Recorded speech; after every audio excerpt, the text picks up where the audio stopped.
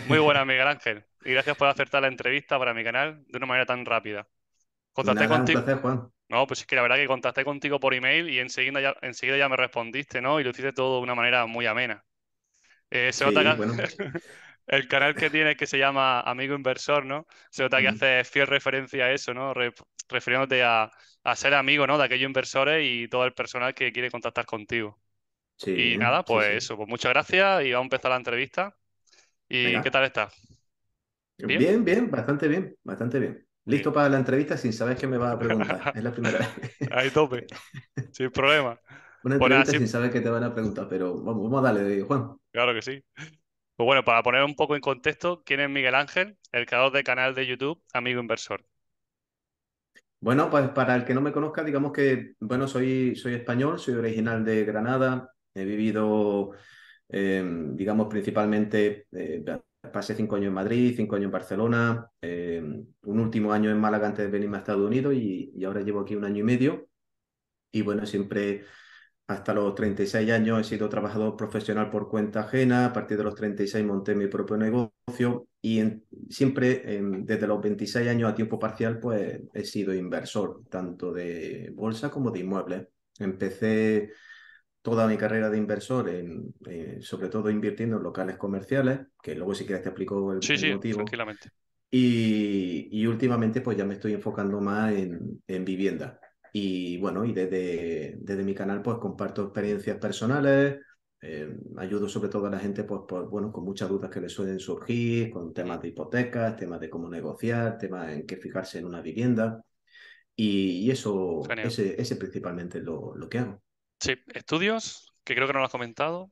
Yo llegué, yo me licencié de Administración de Empresas y luego estudié un MBA en Madrid, en el Instituto de Empresa, de hecho. Mm. Y antes del sector inmobiliario, ¿a qué te dedicabas? Bueno, es, es como te digo, el sector inmobiliario Sí. siempre lo he llevado en paralelo a mi, mi actividad. Mm. Yo empecé, mm, bueno, trabajando en Granada, pues como, bueno, como muchas personas, tú eres de Almería, tú sabes que Sí. ciudades como Granada, Almería, el tema laboral siempre es complicado.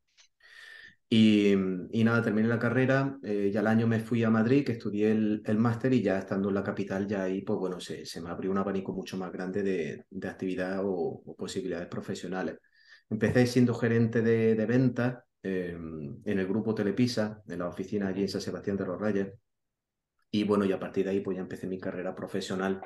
Pero siempre lo que hacía era, ya te digo, mm, metía dinero en bolsa, eh, bueno, en fin, un, un sistema de inversión que siempre me ha funcionado muy bien, que si ahora si quieres te Sí. explico con detalle. Y, y lo que hacía era que, bueno, desde Madrid pues seguía invirtiendo en inmuebles en Granada. Desde Madrid. Ok, ok. Sí, sí, sí, sí, sí. Sí. ¿Y cómo fue el salto de ser eh, trabajador por cuenta ajena a autónomo? ¿Tuviste muchas dudas? ¿Cómo fue ese proceso para ti? Pues mira, eso fue, eso ha sido, eso ha sido una de las etapas más difíciles de mi vida, ¿vale? Porque, mm, bueno, yo cuando tenía 36 años, yo había hecho carrera, en aquel momento estaba de gerente en, eh, en el grupo, estaba en Adidas, en, el- en- en este caso en Barcelona. Y como te digo, siempre he hecho mi, mi inversiones a tiempo parcial y, y cuando ya, digamos, tenía un portfolio de inmuebles que me permitían, pues bueno, pues cubrir mis gastos, aquello que dice la libertad financiera, ¿no? La Sí. famosa el punto S. Y, y dado que yo siempre he pensado que lo- los que quieren ser emprendedores, pues bueno, pues tienen esa, esa inquietud. Yo había hecho ya algún, algún proyecto de, de- de emprendimiento, pero solo digital. Y, y bueno, y a los 36 fue que dije, oye, mira, pues voy a hacer una cosa, voy a a empezar mi, mi negocio, mi propia empresa y así, y así también pues me quito esa, esa inquietud que tengo de, de emprendedor, ¿no? Yo ya había trabajado pues por nueve años en el sector corporativo, en grandes empresas, con, ya te digo, con, posiciones de responsabilidad y, yo me sentía pues, bastante bien, bien en ese sentido gratificado por la empresa, pero, pero bueno, tenía esa inquietud y lo hice. Y esa pues bueno, pues fue una época pues muy dura, muy dura, porque seguro que más de un profesional que esté trabajando por cuenta ajena diga, oye, mira, voy a saltar y voy a ponerme yo por cuenta propia y va a ser mucho más fácil, pues no, para mí fue, fue durísimo. Y emprender en Granada fue, fue durísimo. Luego me, me decía, no es que Granada es una ciudad súper, vamos, súper difícil para emprender y tal. Y para mí fue, fue una época muy, muy dura. Luego, pues bueno, como todo, Luego a los años sí que uno empieza a ver sus frutos, empieza a, bueno, a ver los beneficios de, de tener tu propia empresa, y, pero los primeros años durísimos.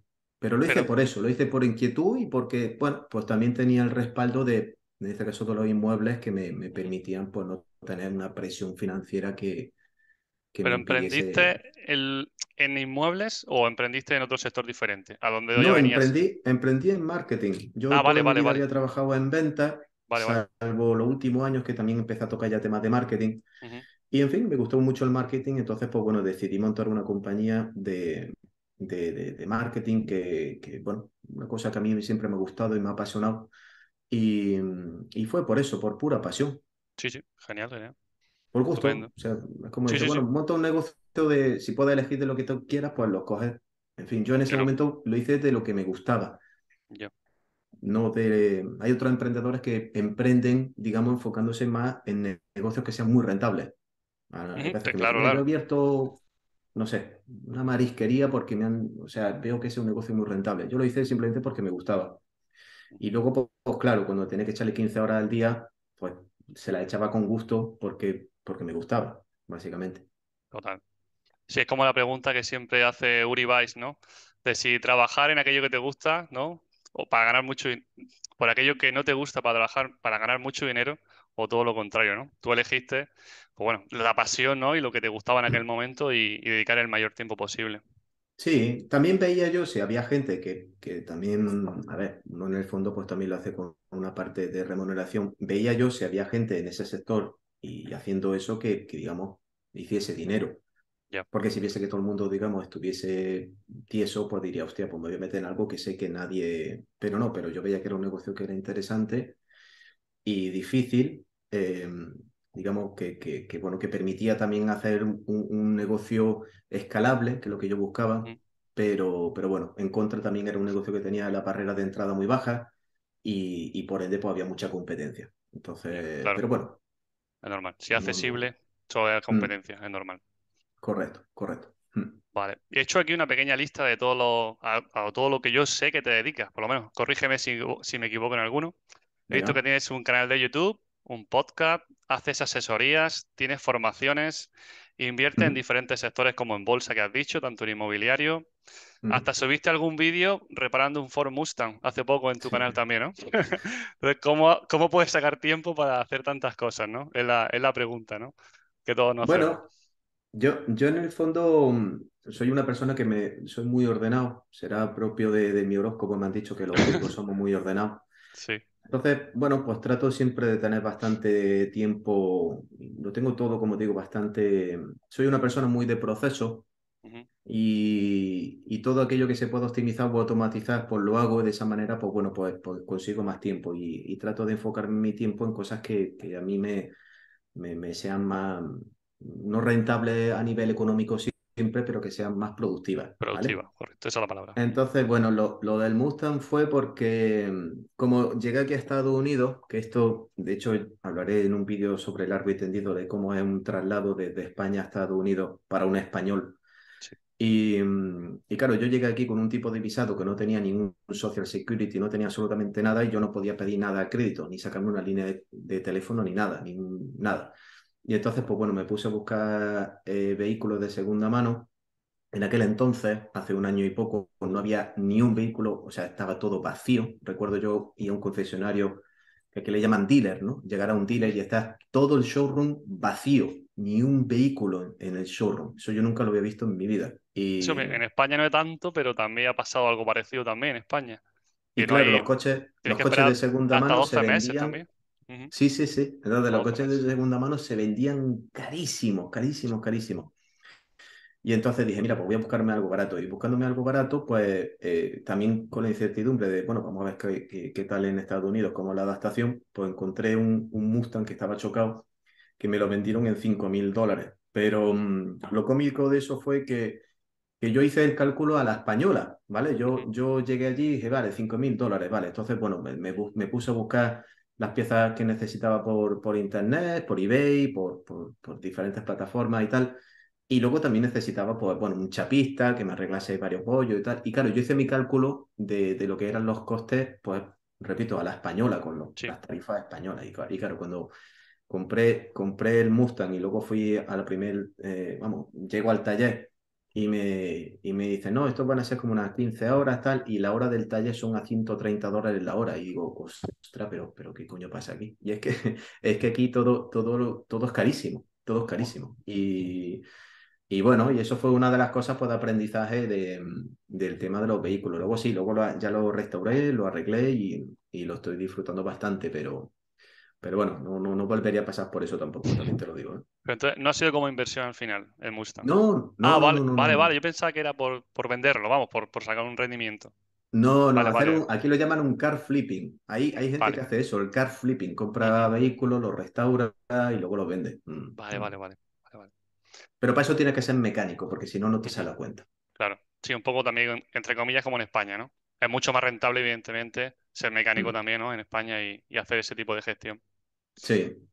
Luego, Y el resto eh, de cosas que han mencionado, pues bueno, pues son cosas que, que, que han ido, han ido surgiendo un poco pues, por demanda y por las cosas que me preguntaba la gente. Y ya te digo, por ejemplo, el tema que has dicho de la formación, pues viendo que hay tanta, tanta, tanta, digamos, bueno, desconocimiento con el tema de, de, de hipotecas, ¿vale? Que una cosa que, que es tan importante al final, yo digo, "Jo, macho, la gente firma contratos a 30 años y en el fondo no, no, o sea, cualquier pequeño detalle es muchísimo dinero, a Claro. 30 años, ¿vale?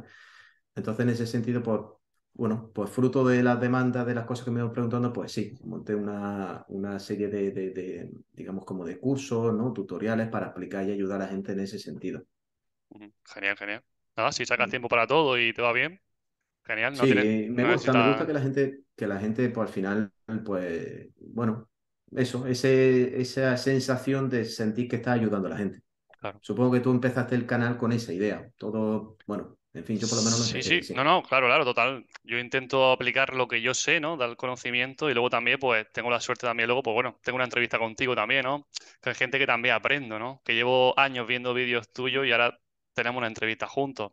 Es lo Claro. conmigo por lo serví un poco, ¿no? Lo que yo puedo Mm, aportar con lo que también puedo rescatar de ahí. La verdad que Claro. contento. Eh, en Estados Unidos sí vives de alquiler, pero en España eh, vives de alquiler también, en propiedad. Eh, ¿cómo, cómo llevas esa gestión? Yo en España siempre he vivido alquiler. Ah, hecho, siempre. yo Vale, siempre, siempre. vale. Yo y yo y, y era muy sencillo porque las casas que me gustaban eran muy poco rentables.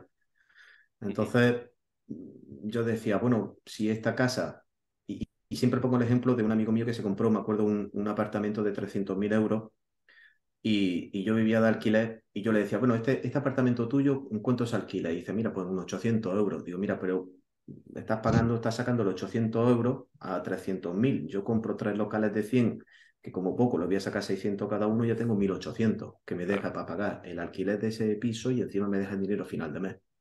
Y, y era por eso, porque las casas que me gustaban eran, para el precio y el alquiler no, no merecía la pena.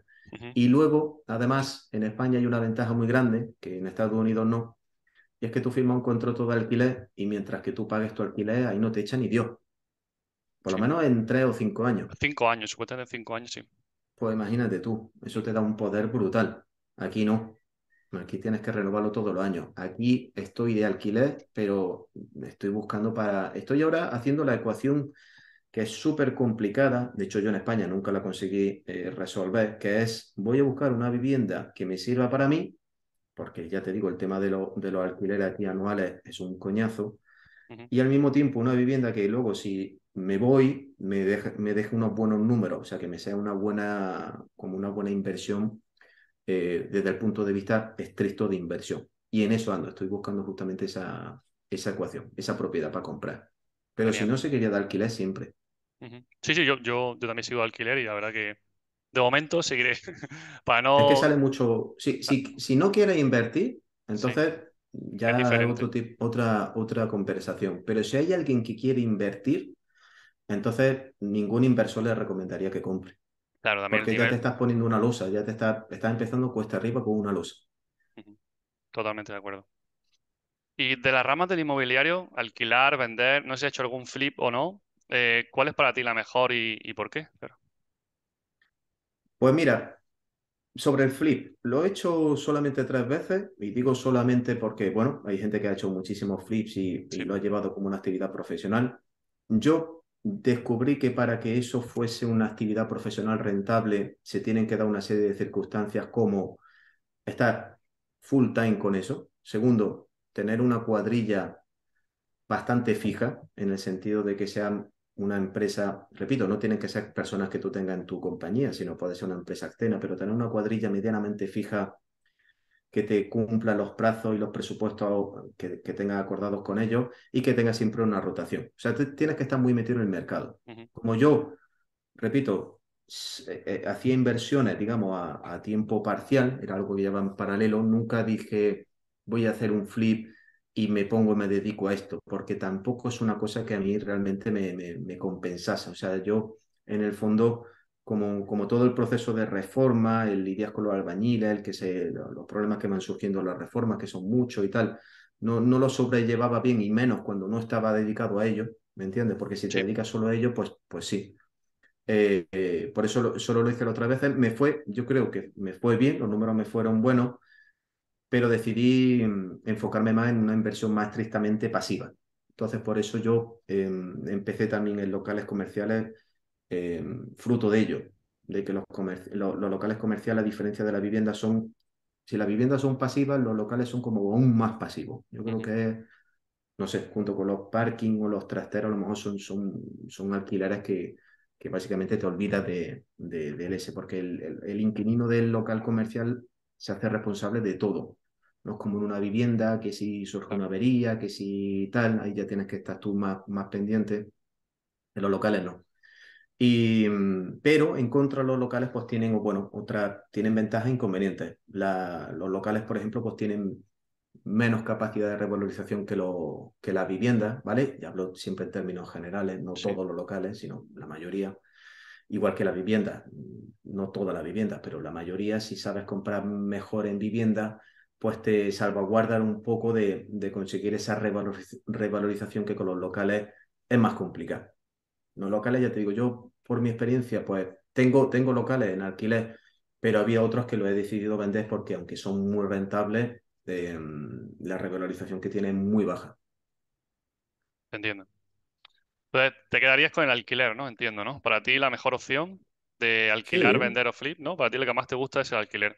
Yo la eh, ecuación que mejor me ha ido, ¿vale? La que a mí mejor me ha ido, que es la que yo recomiendo, pero por mi experiencia, es salvo si te vas a dedicar, repito, full time o casi full time a hacer flip, ¿vale? Que, repito, ya eso es un trabajo, montar una sociedad, o sea, ya, ya un trabajo, pero quitando ese escenario, el mejor que recomiendo es comprar, ¿vale?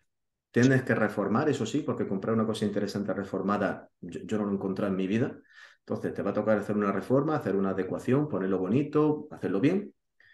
Lo pones en alquiler y luego posiblemente cuando pasen, dependiendo que has comprado, por supuesto, y cómo está la situación del mercado, entre 5 y 10 años, repito, depende del momento en que estás comprando, lo más interesante ahí va a ser vender. Vender, ya, sí, por la... Entonces estás haciendo como un híbrido. Pero eso, eso es lo que yo recomiendo. Vale, vale. También para capitalizarse. No, no alquilas para toda la vida, o sea, no comprar un inmueble ya y tenerlo para toda la vida, sino también es, es, interesante rotarlo y hacer como... Yo, yo cuando empecé yo pensaba que estaba comprando inmuebles que lo iba a tener toda mi vida. Cosa que no, luego los vendí porque me di cuenta de que era más interesante mover y colocar el dinero en otro sitio, porque al final los inmuebles, nos gusta o no, son inmuebles que, bueno, pues tienen una vida, igual que los vehículos, pues bueno, pues se, deterioran, tienen mantenimiento, eh, las zonas, pues bueno, unas se revalorizan más que otras, entonces, tenerlo siempre, siempre, siempre los mismos inmuebles, eh, pero repito, tuvieron que pasar 10 años para darme cuenta de eso. Sí, yo lo he en mi caso, por ejemplo, he intentado hacer la bola de nieve un poco más grande, ¿no? O más rápida al principio, y no he pensado tanto en la revalorización del inmueble. He pensado más bien en ah, tener, digamos, un cash flow de primeras, ¿no? Para poder seguir adquiriendo más inmuebles con, a, mayor velocidad, por así decirlo. Hmm. Y quizá ahora sí llega un punto que estoy en, lo, como, en lo que tú comentas, ¿no? Eh, quizás sí mi próxima inversión sí sea algo más que se revalorice más rápido en el tiempo y no tanto pensar en el cash flow que voy a obtener todos los meses, ¿no? Por así decirlo. También estoy un poco cambiando o intentando cambiar un poco esa perspectiva. Claro, claro. todos yo creo que empezamos más o menos igual, ¿eh? Porque, bueno, todos tratamos de eso, ¿no? De tener la máxima rentabilidad, la máxima, em, el retorno puramente, y de hecho la mayoría de la gente empieza analizando solo rentabilidad. Pero claro, cuando ya llega un momento en el que a lo mejor 300 euros más o menos a final de mes, pues no te van a cambiar la vida, pues dices, oye, pues este inmueble, pues sí, es menos rentable, pero tiene otra, otra serie de ventajas. Y entonces, pues bueno, te enfoca en otros perfiles de inmuebles que son más caros, pero tienen menos competencia, tienen otra serie de virtudes que... Y, en eso ando yo también, haciendo un cambio de, de portfolio. Mm. Y referente a los locales comerciales, con el tema COVID que está pasando después del COVID, el tema también de Amazon que se ha visto multiplicado, ¿no? También el tema de comprar por internet y todo esto. ¿Crees que sigue siendo un buen momento para comprar locales, para destinarlos, pues evidentemente, a lo que quiera el inquilino, ¿no? Pero quizá que se alquilen menos, ¿es posible o, crees que no? No, no, no es que se alquile menos. Es básicamente que obviamente, pues, las reglas y el tipo de negocio, pues, cambian. Sí. Yo sigo, lo sigo viendo una inversión muy interesante. Como todo, lo que pasa es que tienes que comprar, pues, o sabes comprar en, buenas ubicaciones, con una serie de características que, bueno, que sean bastante versátiles para muchos tipos de comercio. Pero lo, lo, que sí está claro es que obviamente alquilar un local a una empresa que va a vender un producto que está online, pues entonces no tiene sentido. ¿Me explico? Porque ahí sí que no tiene sentido, la gente ya lo va a pedir online. Pero normalmente son empresas de servicios, pues clínicas, asesoría, eh, por ejemplo, inmobiliaria, em, ese tipo de comercios te alquilan tu local y, son un inquilino fantástico. Entonces tú no alquilas el local a cualquiera, ¿no? Entiendo que haces un filtro, ¿no? Claro. Depende de lo que vaya a montar en ahí. Claro, claro. Ah, vale, vale, vale, vale. De acuerdo, de acuerdo. Claro. O sea, siempre tiene que ser de servicio. O sea, tiene que tener, yo busco siempre inquilino de servicio. Vale, no, que en ese mundo te digo, no tengo ningún local ni nada y no sé muy bien cómo mm. funciona.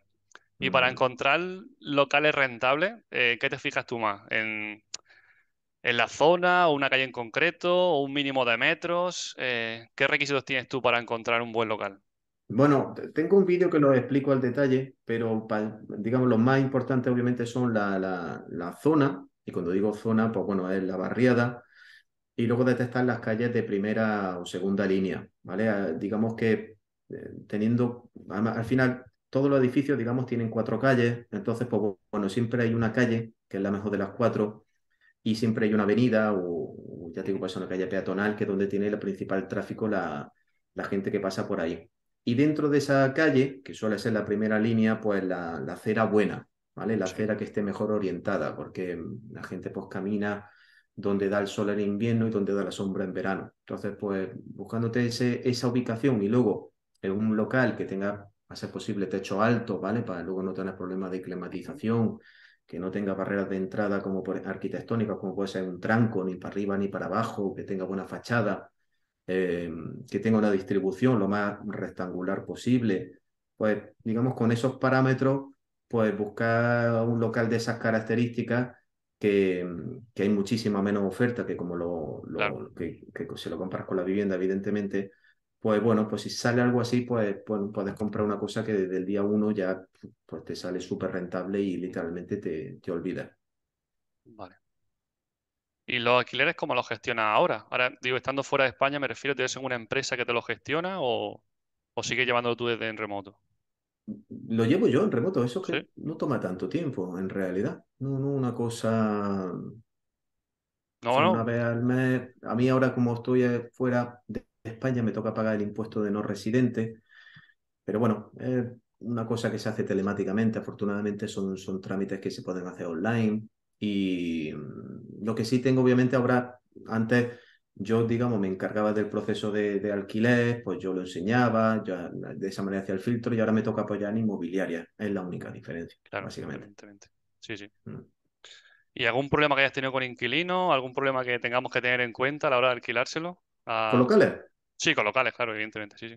No, con locales, bueno, pues nada, pues, pues diría que, a ver, eso, no alquilárselo a un inquilino que vaya a montar un negocio que vaya a poner a la venta productos que están disponibles en tiendas online y menos, por ejemplo, tipo Amazon, y que a ser posible no sea un emprendedor que esté lleno de ilusiones y fantasías, como todos los emprendedores cuando empezamos, y que, y que tú veas que él tiene muy claro los, números eh, y los gastos que conlleva emprender un negocio, que eso también es otra cosa que te das cuenta de, del que ha abierto antes un negocio y el que no. Entonces, pues bueno, haciendo ese filtro y tratando, por supuesto, de buscarte algún tipo de garantía o aval, o incluso una balista también, pues de esa manera pues, pues no te equivocas menos.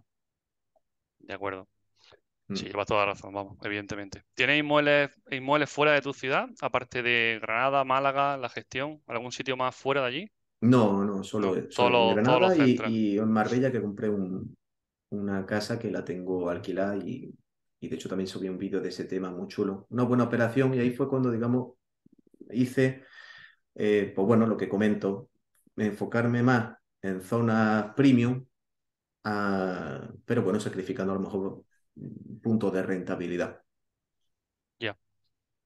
Eh, luego también otro tema importante sobre ti, que recomiendas hipotecarse, entre comillas, lo menos posible, ¿no? Por el contrario que otras personas. ¿Y no crees realmente que una buena, una buena herramienta la financiación en inmuebles?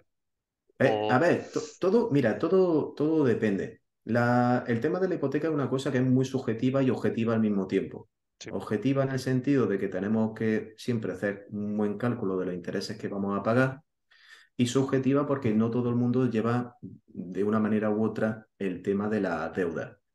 Mi recomendación al final del día es que yo, obviamente, si tienes un perfil más o menos como el mío, en donde yo lo que siempre valoro mucho es tener control de, de, todo o de la mayoría de las cosas que puedo, para tratar de controlar más, más lo que viene a ser mi vida y no depender de terceros entonces la financiación al final del día me supone depender de ese control, ya sea mi inquilino, porque si no me paga el inquilino no puedo pagar la hipoteca o, tengo que pagar el banco, o sea, estoy cediendo control. Entonces, en base a eso, cada persona debe definir su, su ratio de endeudamiento y si voy a escalar a base de deuda. ¿De acuerdo? Pero eh, yo recomiendo eso pues, porque al final del día tú vas a tener eso, un control mayor y te va a permitir, pues bueno, pues por lo menos a mí, pensar con más claridad, tomar más riesgo en otras cosas, ¿vale? Sí, te entiendo perfectamente. Lo de la hipoteca, ya te digo, es una cosa que hay obviamente personas que defienden a muerte que, que siempre hay que dar la mínima entrada y, pedir lo máximo de hipoteca porque al final del día el que te paga la cuota es el inquilino, y que mm, con el tiempo la cuota, gracias a la inflación, pues supone menos esfuerzo a nivel económico y tal. Y, todo eso está, eh, es cierto y, está muy bien. Pero también tiene su desventaja. Tiene su desventaja. Evidentemente, em, vas a pagar una cantidad de intereses que si lo analizas, ¿vale? Yo tengo de hecho un simulador, se analiza la cantidad de intereses que vas a pagar, pues bueno, pues también tienes que ser consciente de que tu vivienda no te está costando 100.000, al final no te va a gastar 200.000 y tendrías que hacer los cálculos sobre lo que te va a gastar también en la financiación. Y luego, pues depende de que el inquilino pues, responda más o menos. Y si estás comprando unos pisos de, digamos, de primer precio eh, y, donde el ratio de, de impago es muchísimo más alto, con perfiles de, alto riesgo, pues te dejan de pagar tres inquilinos y ya te, ya te vienen los problemas. ¿Me entiendes? Sí, realmente. 20 hipotecas. Sí, y luego también, pues yo también he comprado algunas veces al contado, eh, no muchas, no he podido tantas, pero he comprado algunas al contado. Y sí es cierto que, por ejemplo, la última vez que pagué al contado, cuando le dije al, al vendedor voy al contado, ya dejamos de hablar directamente y de negociar sobre el inmueble, ¿no? Porque directamente canceló las visitas que tenía posterior y ya fui yo el que se quedó con el inmueble. Al final también, por supuesto que tiene una gran ventaja. Eh, comprar al contado, ¿no? Sobre todo el precio, ¿no? Y toda la gestión del papeleo, los gastos que lleva asociado a una hipoteca, en fin, que tiene su parte positiva. esa que acabas de decir justamente es otra ventaja de comprar el contado, efectivamente. Claro, claro, por supuesto. Pero yo lo que le digo a la gente es que, que, que al final la inversión inmobiliaria no es una cosa pasiva al 100%. O sea, va a requerir que se cumpla todo el proceso. Tienes que comprar un inmueble, adecuarlo, ponerlo bonito, que llegue un tío y que te pague. Y cuando te paga, es que ya empieza a recibir eh, renta, está empezando a recibir dinero. Si para que toda esa maquinaria esté funcionando, pues tienes que tomar obviamente una serie de riesgos, pero, coño, si, si estás endeudado hasta los ojos y, te falla eso, pues, pues, bueno, yo ya te digo, yo, yo a mí lo que me da mucha tranquilidad es eso, el sentir que yo tengo más control. O sea, que no me paga el inquilino, pues bueno, no, no cambio mi vida, no dejo de tomar retos o, arriesgarme en otras cosas, ¿me explico? Y eso para mí claro, claro. Y por eso ya te digo, hay, hay gente que se siente más, digamos, más identificado conmigo o personas que se sienten más identificadas pues, con otros colegas que, que recomiendan solo hacerlo siempre, aunque tenga el dinero, con, con hipoteca. Yo soy del partidario de a tomar hipoteca, sí, pero también pues gestionar evidentemente el endeudamiento y no llevarlo al límite, ¿no? Saber dónde está tu Claro. límite, con qué duermes tranquilo, eh, como tú dices, si mañana deja de pagarte tres viviendas o tres inmuebles, si vas a poder hacer frente a esos gastos, ¿no? Y todas esas preguntas Claro. tienes que hacértelas a la hora de seguir adquiriendo otro inmueble o otra hipoteca. Y Claro. tienes que, pues eso, conocerte bien y hacer bien los números, ¿no? Y Mm. Lo bueno es que está bien. disponible para la gente que quiere invertirlo, bueno, es que pueden contar con, con la hipoteca y eso es lo, lo bueno. Ahora, ya por defecto decir siempre todo hipoteca o nunca siempre al contado, pues ya es muy personal. No, hay que, hay que jugar con, con todas las posibilidades. Claro que sí. Y no endeudarse al, al máximo. Yo, por lo menos, es, es lo que yo hago, vamos. Claro, claro. Mm. Mm. Y luego, ¿cómo llevas también la gestión del ahorro? Porque ¿Consideras que es la primera pata para iniciarse en el emprendimiento, barra inversores, por así decirlo? Sí, Ya sin inmueble, ¿no? totalmente. Totalmente, ¿verdad? Totalmente, totalmente. El ahorro, digamos que mm, no solo es que te, te facilita el disponer de un dinero con el que poder a comenzar a invertir, sino es que también es un hábito que en el fondo, pues bueno, nosotros en Europa lo tenemos bastante más arraigado, pero en Estados Unidos, por ejemplo, el tema del ahorro, uf, ahí hay un, un tema por explorar porque la gente como que no, no tiene esa cultura de, del ahorro como, como tenemos nosotros allí. Pero claro, yo, yo por ejemplo, cuando, que es lo que le pasará a mucha gente, eh, cuando yo eh, quería meterme en inmuebles, pero veía que los inmuebles, coño, son, son costosos. O sea, Claro, yo claro. Lo más barato que encontraba era 40.000 euros. Entonces decía, wow, me pongo a ahorrar eh, 500 euros al mes, joder, macho, al año son 6.000 euros, macho, te- tengo que esperar como 7 años para poder comprar un inmueble de, de mierda de 40.000. Entonces ahí lo que hacía es que me apoyé mucho en la bolsa. La bolsa me permitía escalar mucho más rápido, porque la bolsa sí que puedes empezar con 500 euros. Claro, igual, mm, hay una serie de comisiones y tal, y, y- y de hecho yo recomiendo empezar con 2.000. Pero bueno, si tienes un hábito de ahorro, vas colocando en bolsa, empiezas a tener ingresos, ya sea vía dividendos, has comprado acciones que luego se revalorizan, porque el- ahí no tienes que esperar muchos años para ver si una, una acción se revaloriza, con varios meses ya, ya puedes estar ganando un 20, 30, 50%, Ujú. Y, as- y así lo iba acelerando. Entonces, pues, eh, el juntar el dinero me, me resultó muy más fácil gracias a la bolsa. Pero puramente ahorrar, ahorrar, ahorrar, claro, yo entiendo mucha gente dice, coño, tengo que ahorrar, ahorrar, ahorrar, y ahora que ya tengo la entrada, coño, pues ya, uff, mi hipoteco el 90% y ya me puedo meter en inmuebles. Y, yo lo entiendo, pero, pero bueno, eh, también recomiendo pues no solo buscarse otras plataformas, otros medios como puede ser eso, la bolsa, eh, bonos, no sé, muchísimas cosas que uno puede invertir, sino también incito mucho a la gente que, que trate de pensar otro tipo de negocio. Yo cuando estaba, me acuerdo cuando estaba yo en, en Madrid trabajando, pues sí, seguía la bolsa, seguía eh, el tema inmobiliario, eh, eh, tenía mi trabajo por cuenta ajena, que trataba de hacerlo lo mejor posible para conseguir mi bono, que me promocionasen, y al mismo tiempo pues, pensaba negocios, hacía, no sé, hacía negocios en paralelo, ¿me entiendes? Que te permitiesen claro. a ti seguir ingresando. Que hay que O seguir sea, buscando ingresos cuando la recurrentes. gente... Claro, claro. Claro, O sea, claro, al si final, no, cuando la gente dice, coño, es que me cuesta mucho trabajo, tal, no sé qué, o tengo que tirar con este sueldo, tal, digo, tío, pues trata de pensar maneras para conseguir ingresos adicionales, que empiezas poco a poco, pero ingresos adicionales, pues yo montaba que si tiendas online, hacía cosas, claro, luego, no, ¿has visto la última temporada de Juego de Tronos y tal? Y dices, bueno, pues esto, o sí, sea, sí, sí, sí. en la vida también o sea, uno también tiene que ser consciente de que, bueno, te esfuerzas y te dedicas a cosas a sabiendas de que todo el proceso de, de desarrollo de un negocio, de un emprendimiento, de un negocio en paralelo, todo eso va a tomar mucho más tiempo de lo que uno se espera, pero todo ese tiempo, coño, pues dedícaselo a algo así, en vez de estar consumiendo solamente contenido, ya sea en Netflix, ya sea en cualquier otro, ¿me entiendes? O, Sí, sí, sí. o lo No, que sea, ¿no? por supuesto. Yo también empecé con el tema de bolsa. ¿Tú te formaste en algún sitio o algo o fuiste por libre a Yo te- en es que yo tuve la suerte, porque Sí, al final es casualidad y suerte, de que cuando yo me fui a estudiar el máster que te he dicho antes, sí. eh, pues bueno, tú te sientas el primer día y, y- y donde se sienta cada uno el primer día donde estás todo el año. Y casualmente, pues el que tenía a mi derecha es un chico que eh, era un super máquina en eso, bueno, y sigue siéndolo. Y, mm, y él me enseñó, Ajá. él me Pues enseñó. mira, mira. Entonces tuve ahí un mentor muy bueno y, y él me enseñó. Y pasó, me pasó lo que, lo que ya te atrapa en bolsa, que es cuando yo me acuerdo que hice la primera inversión, porque él me aconsejaba, mira, pues yo haría esto, tal, ya, ya no me acuerdo qué acción me dijo en aquel momento, pero compré y, y, y, gané, gané dinero. Y Entonces, cuando tú ganas, claro, era... claro, cuando ganas la primera operación ya te enganchas. Sí, sí, y dices, ostras, chaval, pues aquí mm. tengo que meterme. Y ya desde entonces, pues me gusta, me gusta. no, te lo comento lo de la formación, porque yo empecé con Forex y me cargué dos cuentas de 3.000 euros. Así que decidí de gastarme otros 3.000 euros en formación, ¿no? Porque digo, vamos, ya que estoy perdiendo tanto, por lo menos vamos a intentar a ver cómo se puede hacer de una manera realmente de verdad, ¿no? Y ganar dinero. Y bueno, hice unos cuantos Eso cursos. es lo suyo, ¿eh? Sí, sí. Eso es lo suyo. Si tienes alguien que, sepas que, tú sigues, que es bueno y que, sí, que es bueno, que puede enseñar. Al final hice, bueno, unos cuantos cursos y estuve un par de años comprando acciones y vendiendo acciones, sobre todo americanas del Nasdaq y tal. Y la verdad que me fue muy bien. Lo que pasa es que al final es otro trabajo, ¿no? Necesita dedicarle mucho tiempo, análisis, ya sabes, gráfica, y realmente no es algo pasivo ni mucho menos.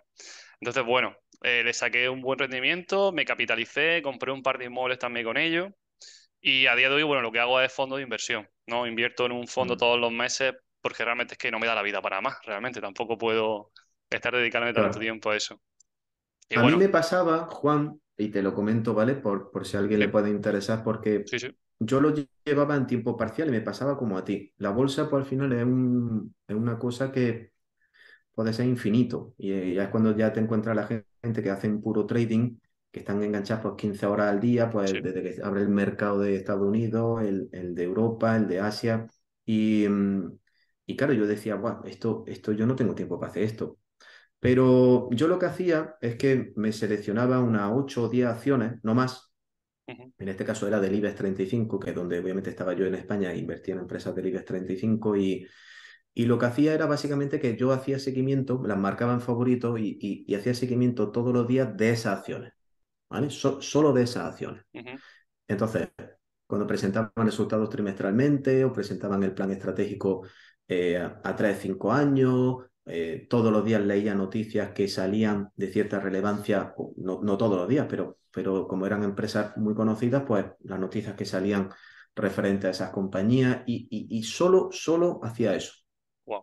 Entonces, cuando, cuando solo seguía esa empresa y le dedicaba el día, no sé, 15 minutos, pero solo seguía esa empresa, pues al final me, me, volví como, entre comillas, un experto ¿no? de, de esa empresa. Entonces, cuando yo veía que el mercado pues las estaba castigando a esa empresa injustamente, pues porque, bueno, el mercado, la mayoría de, la gente que invierte en, bolsa invierte, pues como tú has dicho, en fondo, en cosas que son a nivel macro, o en sectores. Entonces, claro, un sector puede que esté yendo mal, por ejemplo, ahora, por ejemplo, las tecnológicas, ¿no? Con esto del NATA y todo eso, pues está yendo mal, pero puede que empresas estén siendo súper rentables. Claro. Entonces ahí tú dices, coño, esta, esta empresa que la llevo yo siguiendo desde hace años, todos los días que veo los resultados, que veo tal, pues es una buena compra. Y ahí me metía en esa empresa. Pero solo, solo en esa, repito, ¿eh? no, no, tú me preguntabas, oye, ¿has visto cero mi tal? No, digo, no tengo ni idea, tío, no tengo ni idea. Yo solo pregúntame de esta. Y, y así me iba muy bien. Así es como mejor me iba. Las compraba, las mantenía en cartera, no sé, tres, seis, nueve meses, cobraba mi dividendo durante ese tiempo y cuando ya veía que estaban al precio que debieran estar, o incluso por encima debido a, justamente eso, el, el sector, cogía y la vendía. No, eh, hay que aprovechar el momento, ¿no? Y que cuando, cuando están abajo, quizá aprovechar, si son buenas y rentables, por supuesto, y luego vender cuando más altas se encuentran, ¿no? Pero en bolsa, en bolsa, por ejemplo, e, en inmuebles, en inmuebles no pasa tanto porque cuando, cuando salen noticias, ¿me entiendes? En los medios de tema inmobiliario y tal, pues, en fin, todo lo que estamos en el, sector inmobiliario, sabemos que todo a largo plazo. Pero la bolsa no. Y la bolsa le perjudica, le contamina mucho la noticia a corto plazo. Vamos, tanto al día. Al día, Sale una persona, sale los más y dice alguna cosa, ya sería, el mercado se mueve. Entonces, eh, todo eso es un, eh, si, repito, si, si sabes diferenciar lo que viene a ser el ruido de lo que viene a ser realmente si esa empresa está funcionando bien o mal, ahí es cuando encuentra las oportunidades, tío. Yo me acuerdo, me acuerdo, macho, una vez en el 2011 cuando estábamos, que si había, hubo un rescate a Grecia, que si le van a sacar de la Unión Europea, que si en España estaba el presidente de turno que se había hecho no sé cuánto, o sea, todo noticias súper negativas y el mercado estaba hecho polvo. Y yo dije, tío, pero si esta empresa, esta, esta y esta van de puta madre. Y yo le metía todo, yo siempre le metía todo en bolsa. Todo, vaya. Todo. Y porque yo veía que digo, coño, y la gente al contrario, ves que los mercados empiezan a bajar por precisamente la, e, el miedo que meten esas noticias. Y, pero, pero puede que estas empresas estén funcionando de puta madre. Y así, y así lo hacía. De hecho, en fin, hay, hay un, una variable que yo seguía siempre mucho que era el beneficio por acción. O sea, coño, el beneficio por acción. O sea, mira, ves cómo está el beneficio por acción de las compañías que tú estás siguiendo y, ahí también vas a tener un indicativo muy claro de, una manera objetiva de, de, cómo está esa empresa y no tanto de cómo está el sector ni cómo está eh, que si Grecia se sale o que si ahora la guerra de Ucrania o lo que sea. Me explico, pero la gente eh, en, tema de bolsa, pues, pues repito, la gente se, se, deja mucho influenciar por las cosas a corto plazo, por las noticias a corto plazo. Por eso no es una cosa que es para todo el mundo. Lo que pasa es que también duele mucho porque un inmueble, por ejemplo, puede evaluarse un 10% en un año, por ejemplo. Pero si una acción se evalúa de un día para otro un 30%, la gente que no tiene esa paciencia económica está viendo que su bolsillo o ese dinero que contaba con él, que ya, ya no es ese dinero, que ha bajado un 30%, claro, eso genera mucho miedo en, la mayoría de las personas que no saben invertir realmente, ¿no? Porque que hoy, baje un 30% una muy buena acción, no significa que dentro de un año no vuelva a estar por encima de donde estaba hace dos días. Sí, yo, vi, mi cartera en una ocasión al menos 40%, tío. Pero es que estaba súper tranquilo. Exactamente. bueno, pues sigue habiendo mucho ruido del mercado que está contaminando esto, pero yo veía los, los precios a los que yo había comprado el dividendo que yo estaba cobrando, la rentabilidad por dividendo que le estaba sacando. Y digo, vale, bueno, pues me espero, pero efectivamente luego sube y se recupera y, al final acaba ganando. Genera un miedo de masas que todo el mundo empieza a vender como loco y eso, pues, evidentemente se repercute en toda la acción al final. Eh, claro, en el y, Donde, y estás comprando. Entonces es, complicado. Para las personas que no tienen mucho. Y luego no meter un dinero que, te haga falta, tío. Que claro, eso, claro, claro. eso siempre se dice, pero coño, en bolsa nunca metas dinero, porque como tú has dicho, puede que lo, eso, puede que lo pierdas todo. Sí. yo perdí todo en mi, mi, experiencia con criptomonedas, todo. O sea, en wow. ¿eh? A mí eso no me había pasado nunca en la bolsa. Digo, hostia.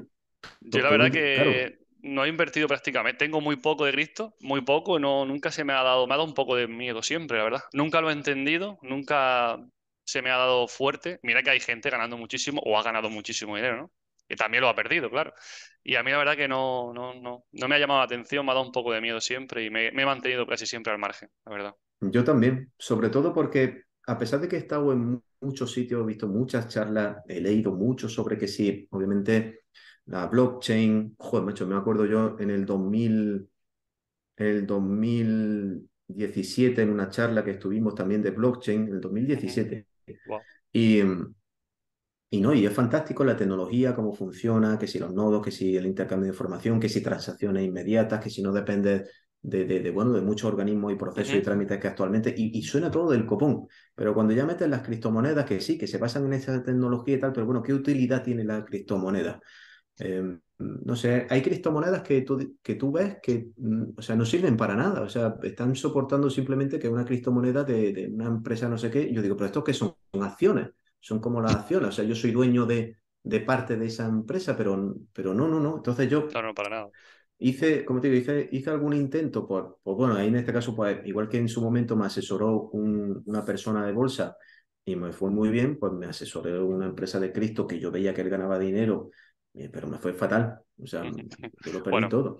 Es, es, complicado. De verdad que hay un tema que no desconozco bastante y no, no puedo hablar mucho sobre ese tema, la verdad. Sí, no, ni yo tampoco, desgraciadamente yo, yo tampoco. tampoco. Bueno, entonces vamos a cambiar de tema un poquito sobre ese, sobre ese caso de, de bolsa y de criptomonedas. Y es como, ¿cómo ves tú asociarte con otros inversores?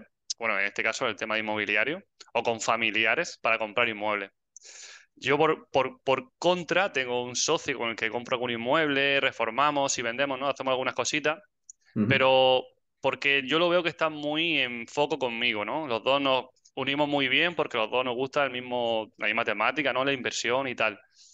Pero por contra hay gente que quizás se acopla un poco a que a ti te esté yendo bien las cosas, ¿no? Y que diga, hostia, pues bueno, a Juan le va bien. Mira, Juan, aporto lo que el 50% y vamos a media y tal.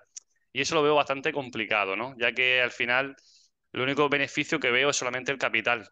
No, no veo que la intención sea positiva en ese aspecto. No, sé cómo tú lo gestionas o crees que hay que tener bastante cuidado con quién te junta ¿no? para, para invertir. En cualquier cosa, eh, cualquier cosa. Al final, temas de socio, o bueno, como pareja, todas las personas que tú elijas que te van a acompañar en algún proyecto, pues son, son cosas que son muy delicadas. Y, y en el tema de una sociedad, por ejemplo, puede ser un emprendimiento, un proyecto o una inversión, pues igual. Em, yo sí he visto, pues bueno, yo, yo traté, yo con, lo, con los alumnos que tengo de la comunidad de, que han hecho mi curso de inversión y tal, pues estuve tratando con ellos la posibilidad de algún tipo de compra conjunta y tal.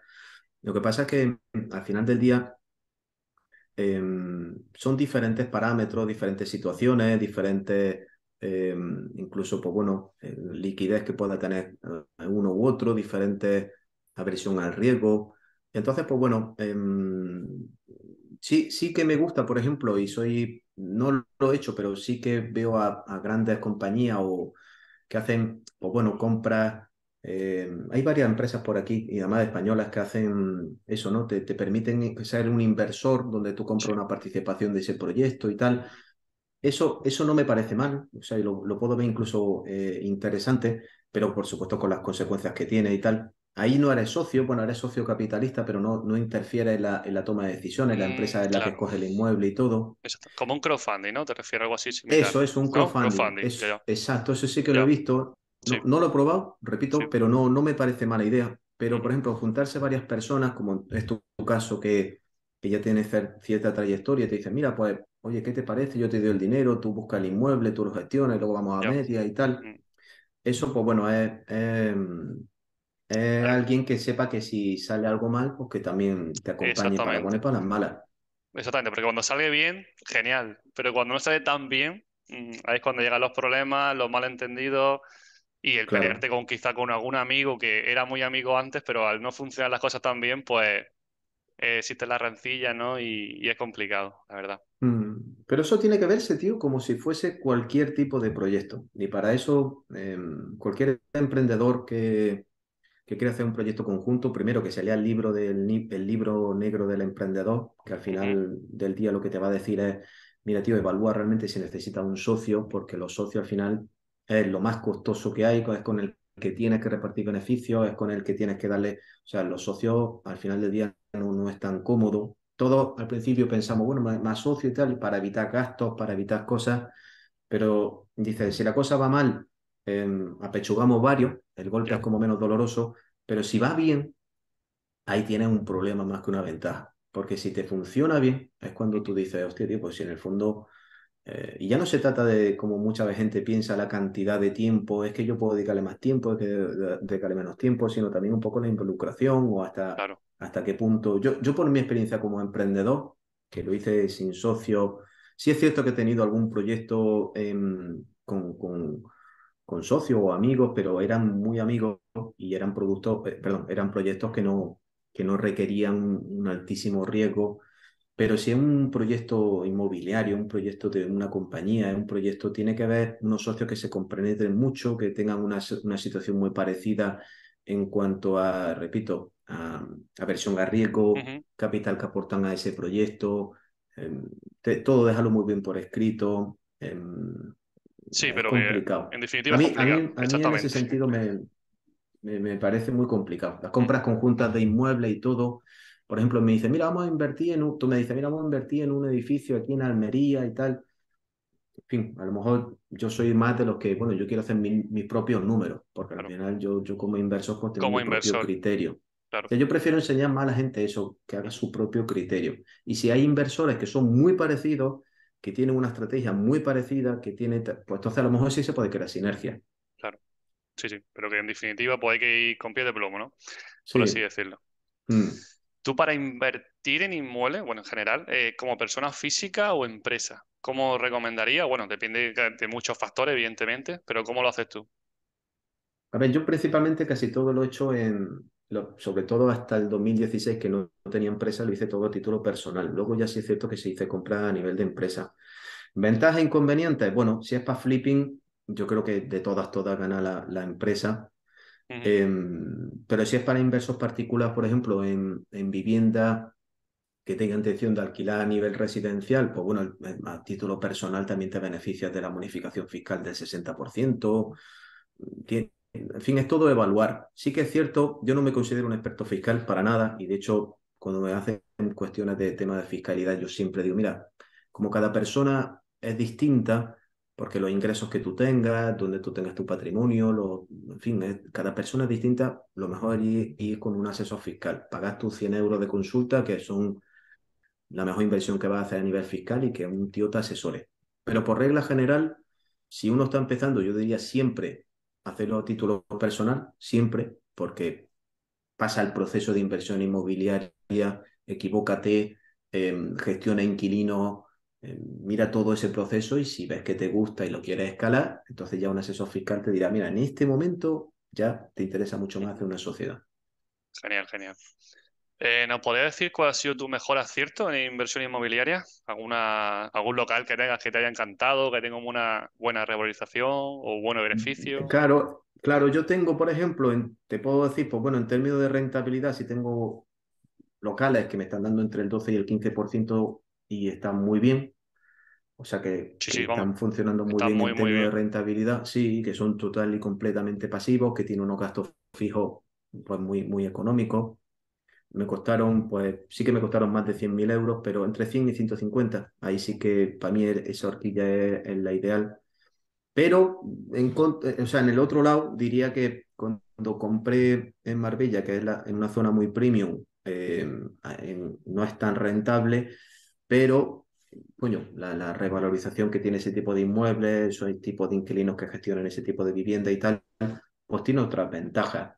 Yo creo que al final eh, las mejores operaciones las he hecho cuando, bueno, cuando ves que todo se pone muy turbio, cuando ves que eh, no hay, no hay esa demanda de compra, cuando tú, en fin, como la bolsa, o sea, Sí, las mejores operaciones las he hecho cuando, bueno, me, me quedo en la retaguardia.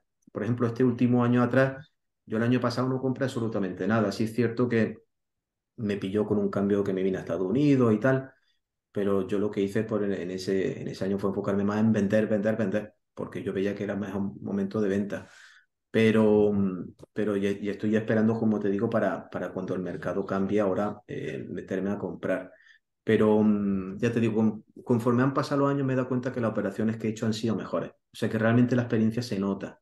Sí, Yo veo cosas que compré cuando empecé con 27, 28, 29 años que a día de hoy ya no lo volvería a comprar. Te entiendo. Sí, por lo que hablábamos antes de revalorización o, o que Claro, dé más tormento el te, inmueble o lo que sea. Sí, sí, yo, ten- yo he tenido inmuebles que he vendido que han sido súper rentables, pero lo he, lo he tenido que vender por el mismo precio que me costó, tío. claro. No, sí, total, total. Por supuesto, a mí me pasado también alguna vez eso, que he vendido por, por prácticamente lo mismo.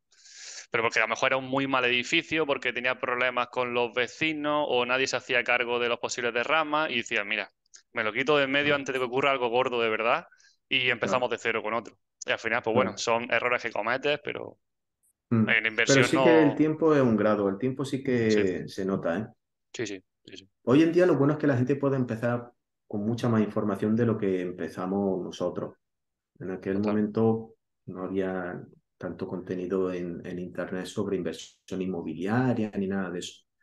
Yo creo que Sí, sí, ahora, no, claro. cualquier persona se puede medianamente formar solo con el contenido gratuito que hay en, en Internet, por lo menos para no cagarla Mm, tanto. Sí, a lo mejor no va a, no va a tener la mejor rentabilidad del mundo, Mm. pero le va, va a ser relativamente, no va a ser rentable por lo menos, ¿no? No, no se va a equivocar tanto como Y, y empezar a hay cero. cosas, y hay cosas que involuntariamente, aunque esté en Internet, se van a equivocar, porque en el fondo todos queremos tener como nuestra propia decisión y, y, y vamos a llamarlo cabezonería, Sí, muchas cosas, pero mm, no debería de equivocarse tanto como alguien que empezase en nuestra época. Por supuesto. Sobre todo, sobre todo en la mía. No, sí, tú empezaste antes, la verdad. Yo, como siempre se suele decir, no hubiese empezado antes si lo hubiese sabido, ¿no? Pero claro, estamos donde estamos y, y no nos vamos a quejar. Y Sí, por... es tarde. No, claro que sí. Y por contra, algo que lo haya equivocado, un- un- el peor error, digamos, que hayas tenido. en alguna inversión. Bueno, lo- a ver, yo, yo siempre me acuerdo de, del principio la mala gestión que hacía con mis propios inquilinos, pf, que Ah. me, me daba muchos problemas y estuve a punto de desistir con el primer local, de hecho, que compré.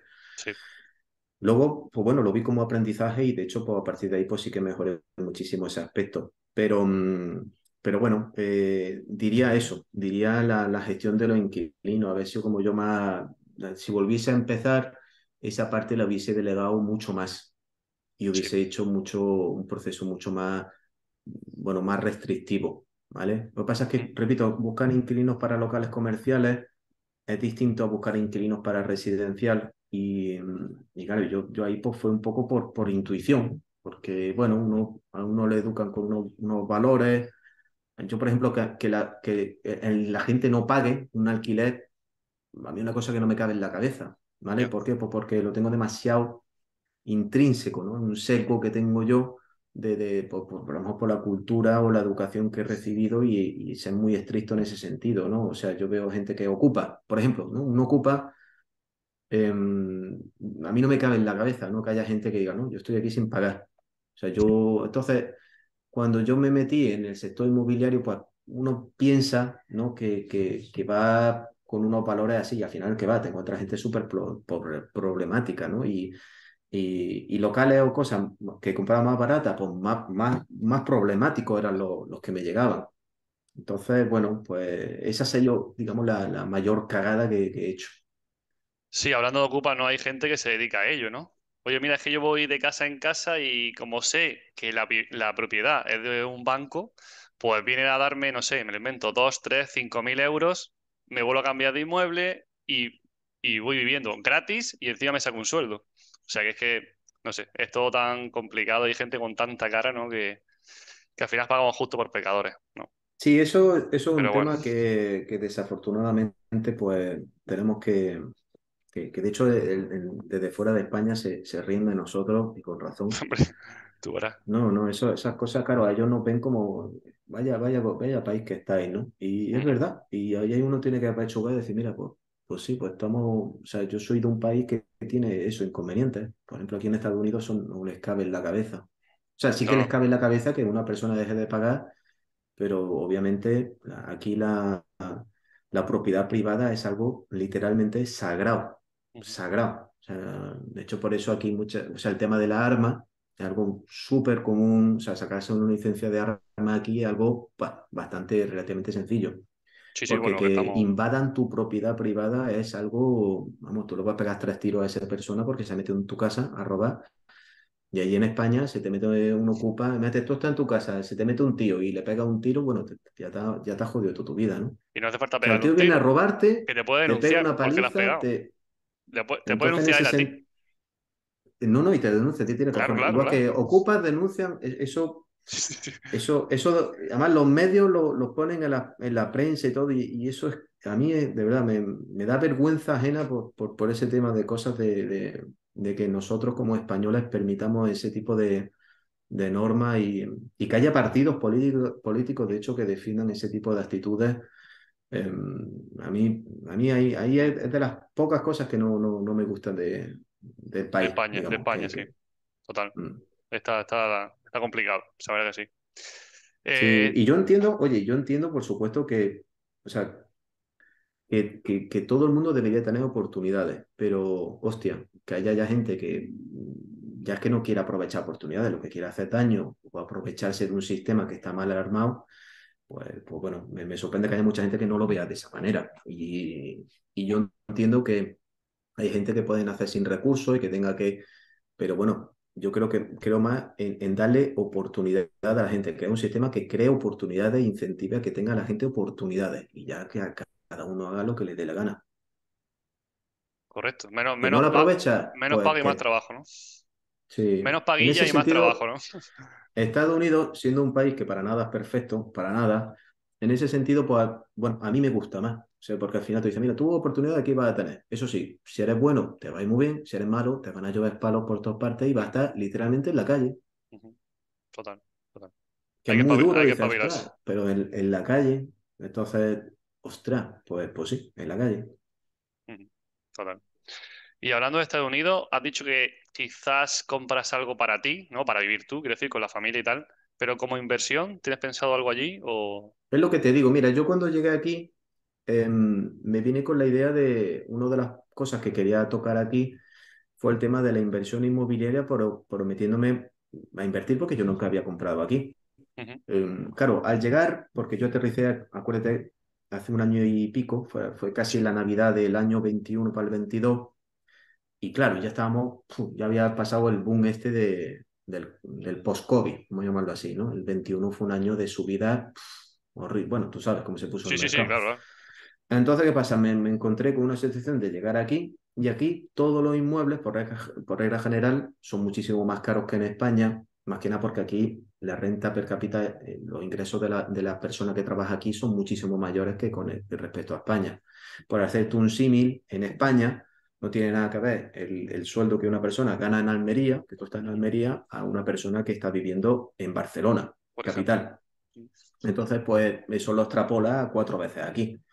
Entonces, claro, eh, me encontré con una situación de decir, coño, voy a tratar de buscar inmuebles y tal, y, y, en toda esta zona de la Florida todos los inmuebles pues se pusieron a un precio imposible, literalmente imposible. Y, y entonces, bueno, eh, ¿qué pasó? Bueno, pasó el primer año y dije, vale, ahora me he puesto más a la búsqueda, dado que no voy a poder seguir eh, viviendo de alquiler, porque los alquileres están hipercostosísimos. Tú piensas que yo vivo en un apartamento que pago 3.100 dólares de alquiler, ¿vale? Es, es, un disparate, ¿vale? Es un disparate, lo sé. Pero, pero claro, ya me deja poco margen para decir, bueno, voy a ir seguir colocando dinero para, para otras inversiones para que me paguen el alquiler. Entonces voy a ver si encuentro algún tipo de, de, propiedad que me permita poder vivirla yo, a sabiendas de que no va a ser la casa de mis sueños, pero de una manera, digamos, de transición uh -huh. hasta que ya, eh, ya consiga, por supuesto, pues tener unos ingresos aquí que me permitan pues, hacer como hice allí. Yo empecé a invertir en inmuebles cuando yo ya empecé allí a generar dinero y, y, y colocarlo tanto en bolsa como en inmuebles. Pero, pero ando en eso, ando en eso, Juan, buscando y analizando el mercado. Luego también he escuchado también por allí que lo, los gastos del inmueble son muy elevados, ¿no? Que mucho sí. más que en España, no tiene nada que ver. Aparte también el sueldo, evidentemente, pero te, mantener un inmueble mm, es carísimo, ¿no? Por así sí. decirlo. Justo, justo un sí. tema que lo comentaré en mi canal, el tema de Ajá. aquí de los gastos de, la, de las viviendas, porque igual te vienes de España con una serie de, de, de, de cifras y te das cuenta de que aquí, por ejemplo, lo, una de las cosas que llama la atención es el tema de los gastos de la comunidad cómo puede haber viviendas que tengan unos gastos de comunidad pues, relativamente económicos, que son casas que no están, lo que llaman aquí gated community, que son comunidades cerradas, y otros que están en comunidades cerradas que pagan, pero miles de dólares, miles de dólares al mes. Y de hecho, wow. los gastos de comunidad aquí, eh, si no los pagan, no, no, te dejan entrar al complejo. ¿Vale? Sí, sí, Como son en España, en España que dicen, mira, va, el, el, del cuarto B lleva seis meses sin pagar. Sí. Ya... No, no, aquí tú no pagas y, y, pasa, porque como es gated community, tú vas a entrar y no, y no puedes pasar. Wow. Igual, igual que aquí, sí, igual. Entonces, eh, eso es una variable súper importante a la hora de, de, decidir que compra un inmueble, porque son gastos que no puedes controlar. Yeah. Tú sabes que sí o sí, e, esa, esa inversión inmobiliaria va, tienes que sumarle los cientos o miles que te piden de comunidad y que eso va creciendo. Los gastos de comunidad nunca bajan.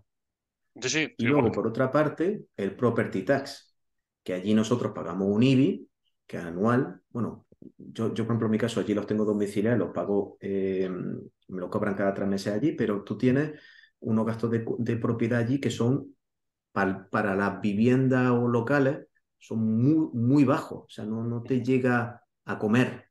No, no, por explico? supuesto. Puede estar inmueble o sea, cerrado que no hay ningún problema, entre comillas. Correcto. Aquí claro. los gastos de, del property tax, pues calcula que sería sobre el precio de mercado, para que te hagan una idea, el 80% de ese valor, el 2%.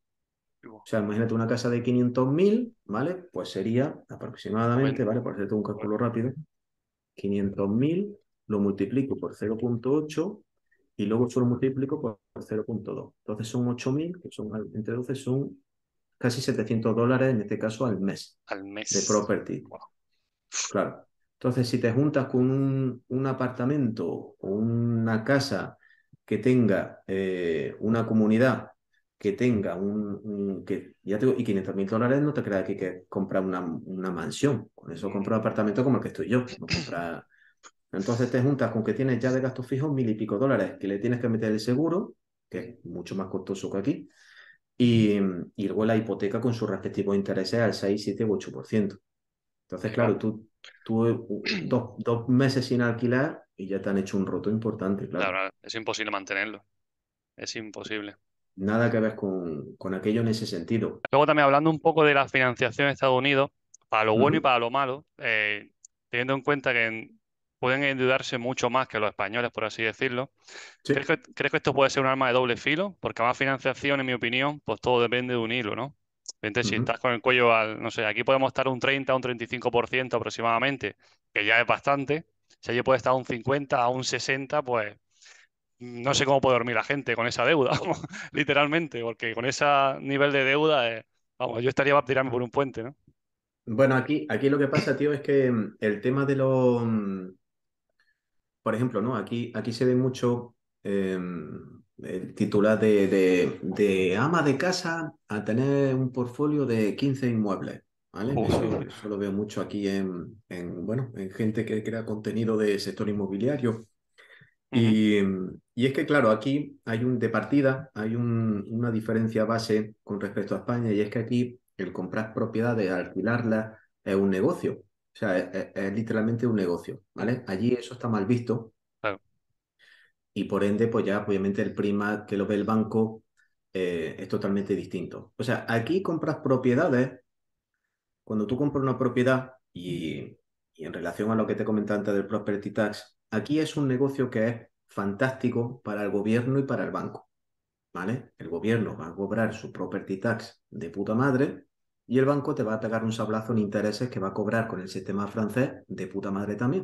Entonces, en el momento en el que tú estás comprando propiedades, la estás poniendo en alquiler, en cuanto pasan dos, tres meses y esa vivienda está alquilada, aquí el, un poco para que te ponga en situación, el banco te pasa en un solo recibo eh, lo que viene a ser la hipoteca, que ya en la cuota, que incluye tanto los intereses como capital, ¿vale? Te pasa la, la cuota de la hipoteca, te pasa el recibo del seguro y te pasa el property tax, ¿vale? Te lo pasa en un solo recibo el banco, porque el banco quiere que tú pagues el property tax, claro. porque como te he dicho, si no pagas, el gobierno coge y te embarga la casa.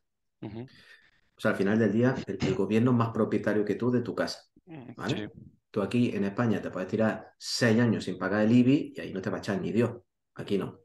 Entonces, como de por sí es un gobier- eh, el gobierno gana, el banco gana, eh, al final del día lo que ellos quieren es que sí, que tú sigas pidiendo mientras que, bueno, que eso se vaya pagando.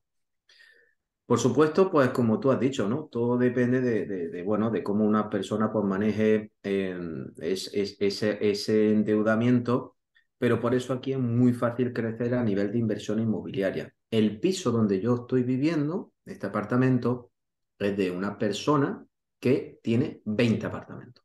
En este caso es una realtor. Los realtors, que son, bueno, los agentes inmobiliarios que tenemos en España, pues al final del día están en el mercado y van viendo cosas, que sale, que entra, que vendo, que compro. 20. Entonces, 20 propiedades. Claro, puede tener una deuda de millones de dólares. Sí, sí, claro. ¿Entiendes?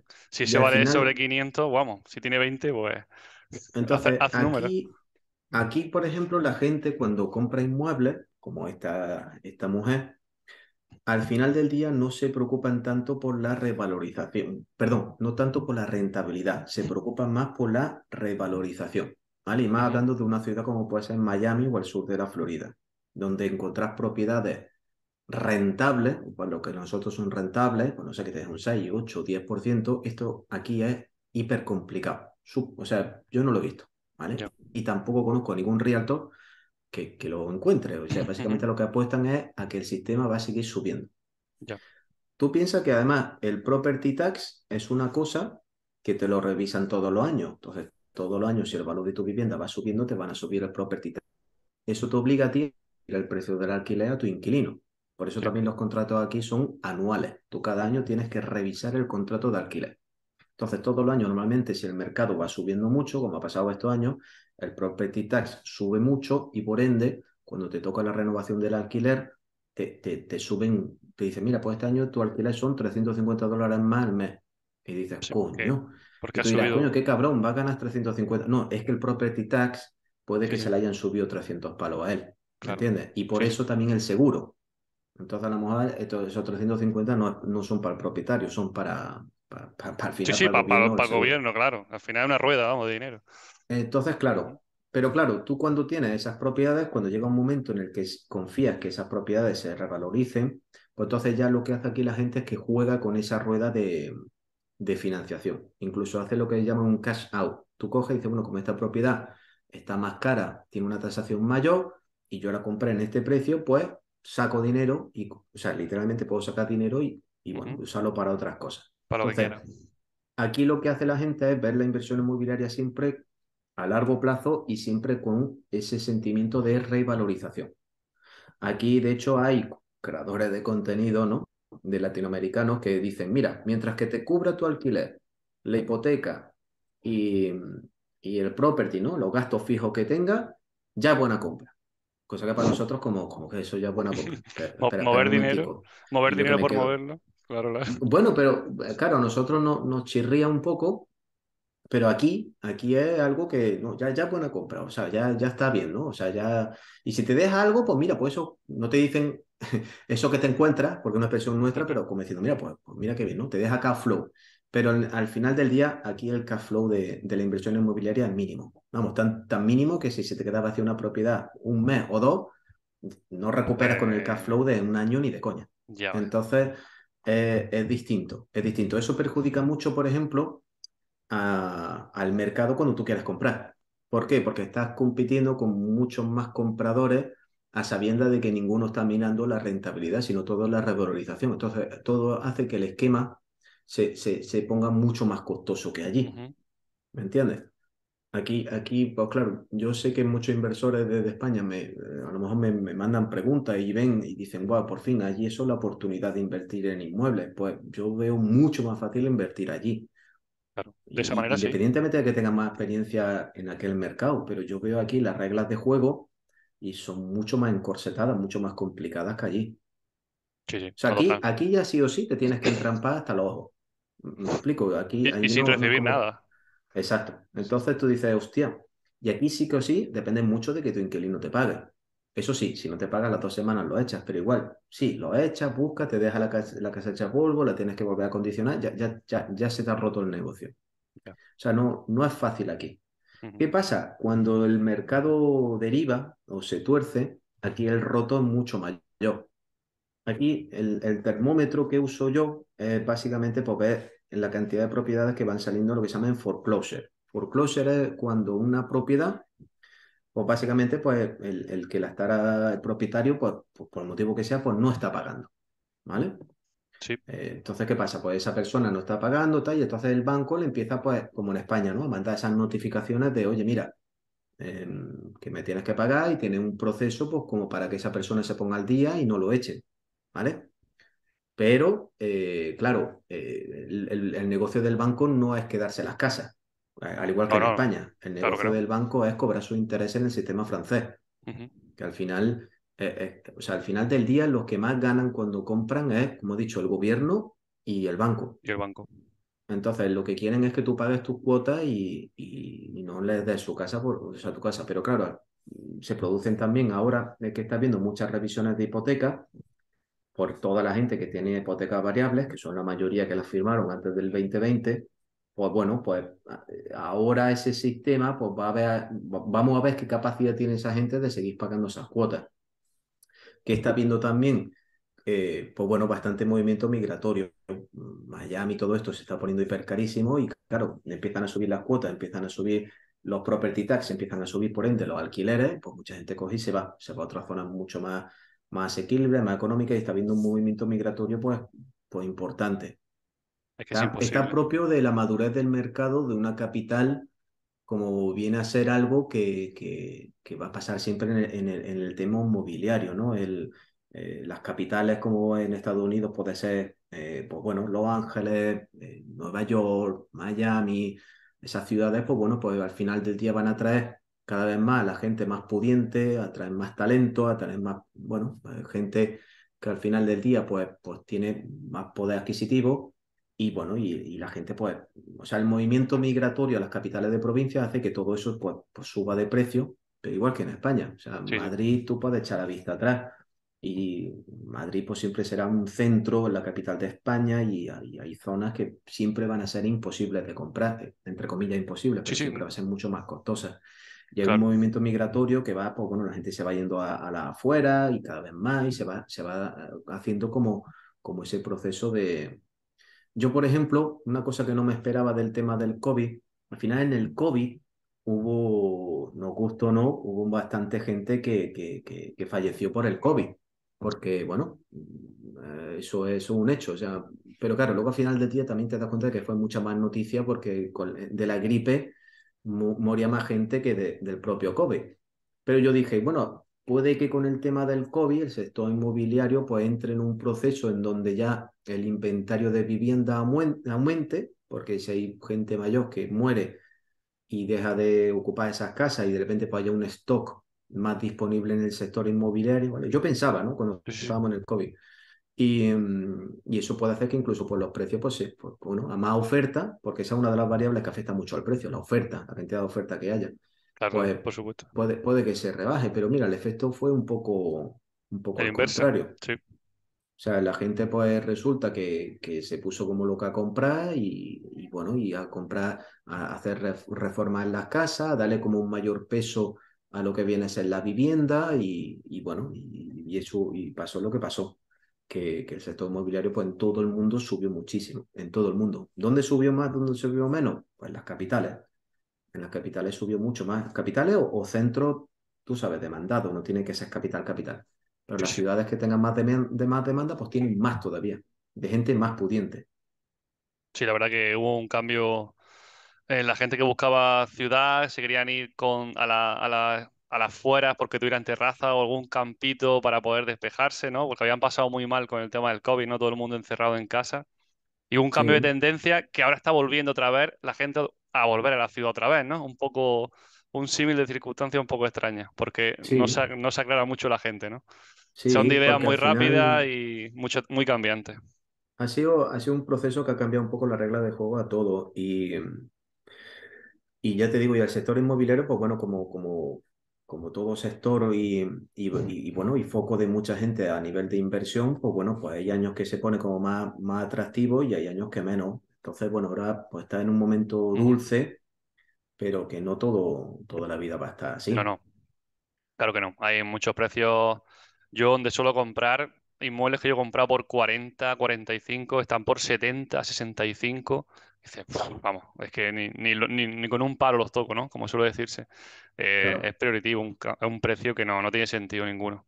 Entonces, Imagino claro, que... el inversor, yo por ejemplo, a mí cuando me preguntan, bueno, tal, no sé qué, a ver, oportunidades siempre salen cuando uno está dentro del mercado y está en la rueda. En la rueda me refiero que tienes tu buena lista de contactos, que te avisan con cosas, que vas a ver antes que nadie, que sabes analizar bien, ¿vale? Cuando estás ahí, siempre salen oportunidades. Pero yo, este año, pues, me dice, mira, inversión inmobiliaria, pues mira, yo veo mucho más interesante a lo mejor invertir en otro tipo de cosas y no tanto en inmuebles, porque los inmuebles los veo que están, están muy calientes todavía. Sí, muy, muy caro, muy caro. Totalmente de acuerdo. voy, voy, yo, yo, yo esperaría, esperaría, pues bueno, al contrario, yo veo más este año para un- una buena época para reestructurar lo que viene a ser los activos, vender cosas. Es decir, por ejemplo, esas casas que tú has dicho, mira, me costó 40, ahora vendo en 70, pues yo, yo, yo, yo vendería. ¿Por qué? Con un, Porque con un lazo, ¿no? yo Con un, sí, con yo un sí. lazo. Yo sí, Sí, yo sí, sí, sí. porque es, es un momento interesante para ir liquidando una serie de inmuebles. Repito que eso cada uno como... Pero yo lo veo interesante para decir, oye, voy a, a- tratar, que por lo menos por mi experiencia, a tratar de, de reestructurar el, el tema inmobiliario, porque al final el tema inmobiliario, por mi experiencia, me da cuenta que como yo quiero tener un- el, el, o gestionar ese inmueble eh, teniendo menos cosas, pero de más calidad. Ya, ya. Sí, sí, totalmente. Claro, claro. Al final, cuanto menos tienes, pero más calidad, menos problemas, menos gestión y menos Claro, calentamiento de cabeza. Es claro. totalmente entendible. Claro que sí. Por mi perfil y por lo que yo, yo quiero hacerlo. ¿Que todo el mundo tiene que hacerlo así? No. Cada uno tiene eh, su estrategia y hace su portfolio y lo gestiona como él quiere. Pero al final del día yo lo veo como una inversión. Yo no quiero que sea un trabajo, quiero que sea una inversión más y quiero tener, pues bueno, ese, ese, por- ese portfolio, igual que también pues tener un portfolio de acciones, igual que tener una serie de, de activos que, que vea que me generan dinero, pero que no, que no sea mi actividad principal. Totalmente de acuerdo. Mm. ¿Y el futuro cómo lo ves? ¿Te ves teniendo algún proyecto nuevo, dedicándole más tiempo quizás a algo que tengas olvidado, como algún hobby, la familia, no sé, etcétera, etcétera? Bueno, ahora estoy en la, en la, en la fase de, del mercado americano, sobre todo por eso que es una experiencia interesante y ver cómo, cómo me evoluciona el, el, digamos, la estancia en este país. Para un español ya te adelanto que un- son, son bastantes cambios en muchos sentidos, ¿vale? Igual, yo te digo, tú me dices hace 10 años, Juan, ¿te vayas a Estados Unidos? Digo, ¿yo para qué? Pero ya ahora que estoy aquí, ya un poco veo las bondades, igual que los defectos. Bueno, y defectos para nosotros, ¿eh? Que a lo mejor para ellos no, no es que sean defectos, para los americanos. Pero, pero bueno, sí que se nota y se palpa que es un país que puede tener bastantes cosas, eh, si se dan una serie de elementos que pueden ser, pues bueno, bastante, bastante positivos. Y en, es, en esa fase estoy, estoy un poco en, en la fase de, ese de ese futuro enfocarlo en, en esa experiencia personal y profesional, Sí, porque perfecto. también, también me resulta muy atractiva. Y en cuanto al sector, digamos, inmobiliario, el sector en general, ¿cómo va a ir a nivel de económico? Pues yo honestamente, yo eh, a principios del año pasado pensaba que la cosa iba a estar bastante peor en estas fechas de lo que estamos. No veo Peor. grandes... Sí, yo pensaba que sí. Pensaba que, bueno, ya una vez se acabase todo el tema de la liquidez, de, de- del post-COVID, todo con toda la inflación y toda esa subida de tipos, pensaba que iba a estar más roto eh, en el sistema económico. Y, y aquí, por ejemplo, en Estados Unidos todavía no se resiente el empleo, es un indicativo muy claro. O sea, mientras que haya aquí empleo y siga generando ese empleo, pues bueno, al final la rueda no se para. La Claro, claro, tiene trabajo, paga su hipoteca, pide sus préstamos, ¿me Ujú. entiendes? Todo, todo no se para. Sí, sí, Ya tiene seguir con la cuando, misma historia. efectivamente. Entonces, por eso también han seguido el, el este, ¿no? El presidente de, de la FED, pues siempre lo dice cada vez que sale a, a decir si, si los, tupe- los tipos los sube o los mantiene o tal. Mientras que él vea que el empleo, pues, pues sigue estando en niveles mm, bajos, pues es un indicativo de que, bueno, sigue, sigue todavía con capacidad de poder frenar más la economía. Pues si frena la economía, pues todo se resiente. Hay menos consumo, menos consumo, los precios bajan. Ya. Y sube más los tipos de interés y hasta dónde, a ver hasta dónde llega la gente, ¿no? Probando un Claro, pero para el sector inmobiliario, para los que estamos dentro de eso, para nosotros es, es- es bueno, porque eso anticipa de que el sector inmobiliario al final no mueve la economía de un país. El sector inmobiliario es básicamente una de las partidas que, que bueno, que, hay que tenerla en cuenta, pero no, no es que todo el país se rija en función de cómo se mueve el sector inmobiliario. Em, en ese sentido, pues yo creo que a nosotros nos va a interesar porque se van a abrir muchas más oportunidades, el mercado se va a enfriar, seguro. Sí, Bueno, ya se está enfriando y eso a nosotros nos va a beneficiar. Sí, totalmente. Y una pregunta ya cambiando y terminando un poco la entrevista. Eh, ¿qué personas te han inspirado para estar hoy donde, donde has llegado? Personas, libros, mm, famosos, familia, puede ser cualquier persona de tu entorno. pues la verdad es que en, en ese sentido tampoco me, me he tomado de referencia así a nadie que me, me sirva así a modo de, de ejemplo, porque no tendría así, no te podría decir una persona.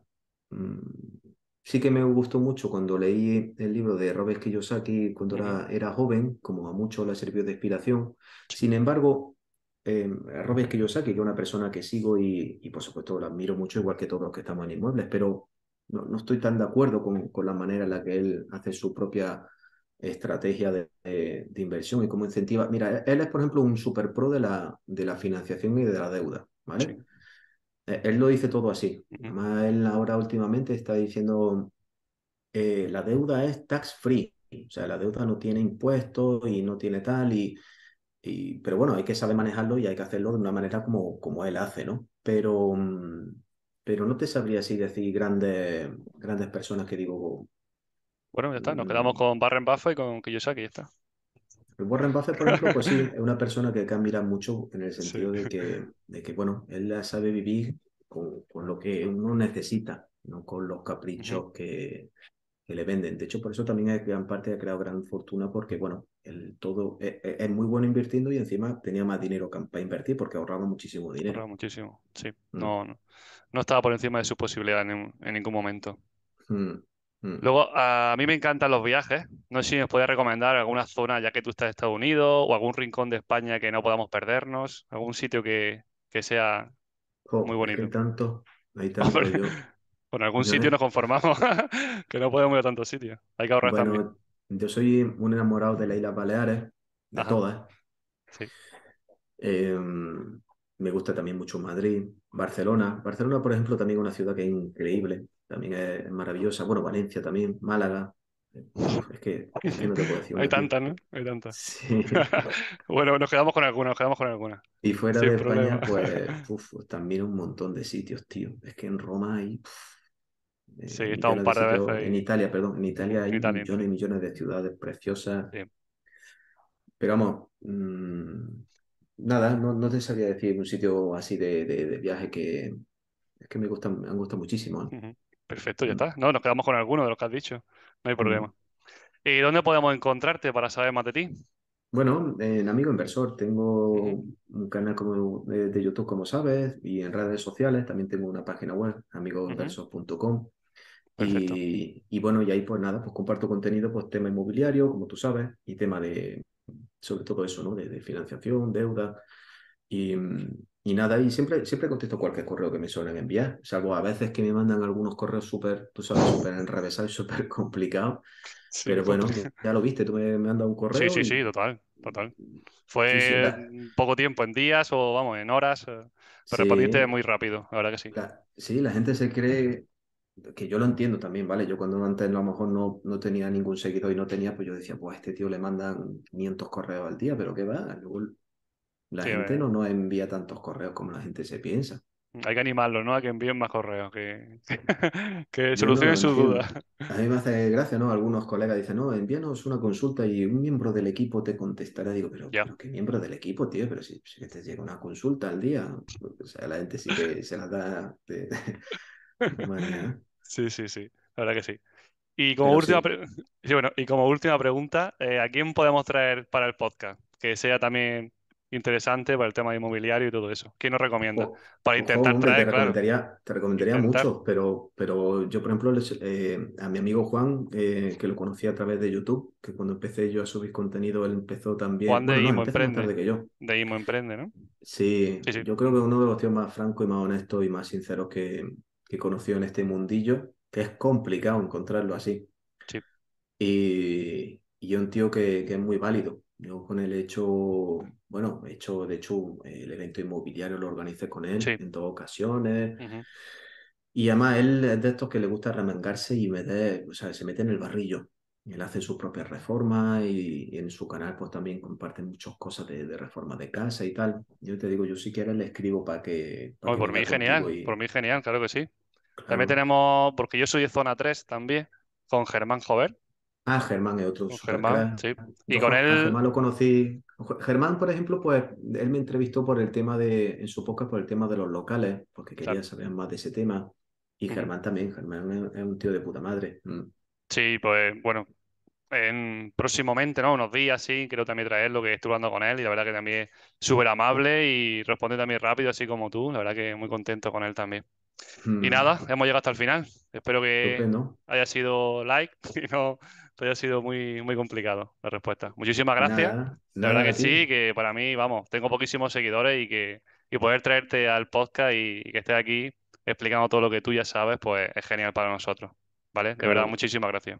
nada a ti. Y tú por lo de los seguidores no hagas ni caso. Eso hazlo porque a ti te guste. En Sí, hombre, claro, claro. Pero bueno, que ya sabes que eh, no es lo mismo, ¿no? Cuando tienes pocos que, bueno, que alguien te haga caso para hacer entrevistas o que se repercute mucho en eso, ¿no? El que Mm. tengas 10.000, 20.000 o 200.000, ¿no? Evidentemente. Pero Sí, bueno, yo por eso ya te digo, que... cuando me dijiste, vamos a hacer una entrevista, yo cuando la gente me pregunta, digo, claro, si es que yo sé lo que es eso, empezar y que nadie te... O sea, a mí me, me da un coraje mandar un correo que no Sí, te sí, sí. contesten o que te vean como... Sí, un don nadie, ¿no? Un don nadie, sí, evidentemente. pues no, no, no entiendo por qué. En fin, pero bueno, Pues nada, condición humana. Exactamente. Así, exactamente. así que nada, gracias a ti igualmente por invitarme, Juan. Lo Nada, que necesites, tío. Muy bien, muchas gracias.